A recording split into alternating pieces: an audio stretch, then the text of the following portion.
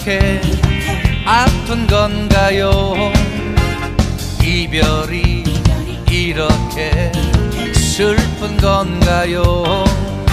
커피를 마시고 영화를 봐도 온통 네 생각뿐이야.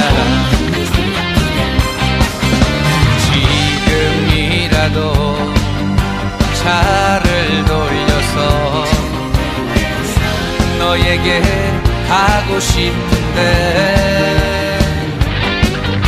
사